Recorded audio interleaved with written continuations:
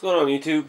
Uh, just a quick video here to talk about the wheel hexes. Um, if you're following along, you've seen my Trail Finder 2 build.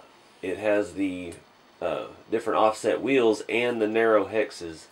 And that's what makes it tuck in so close underneath the body. So I was working on the Amigo and I had an extra set of the RC four-wheel drive narrow hexes, which are these here and just magnetized it.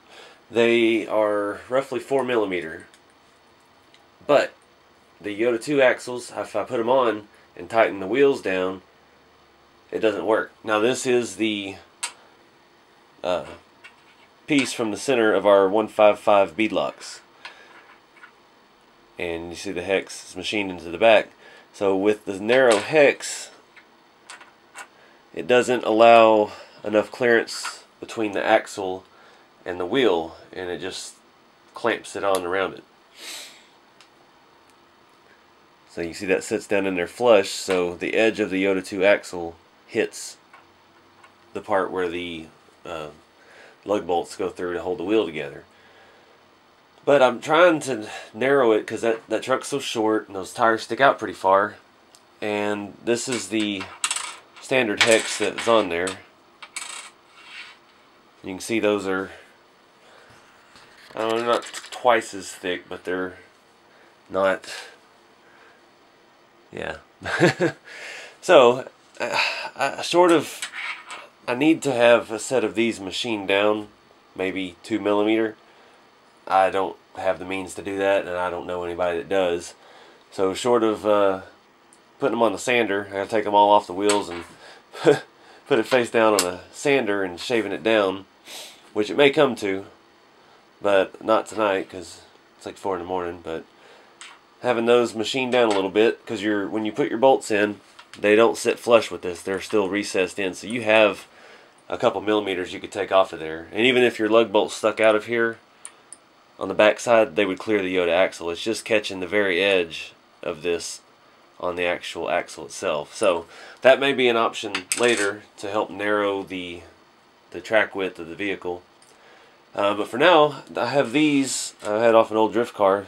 They are slightly in the middle. They're they're just. I mean, we're talking millimeters here. So I'm gonna give those a shot on the Amigo and see if we can even notice any difference.